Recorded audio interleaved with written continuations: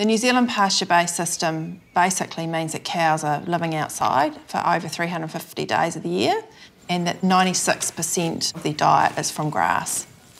There's not many other examples of true pasture based systems in the world. And what enables us to have a true pasture based system is our climate and our rainfall and our soil types. The big advantage with grass fed dairying is that it's natural. Grass grows in the soil the cows eat the grass, the grass is turned into milk, and New Zealand farmers are particularly good at doing that. And so that's part of the magic of New Zealand milk.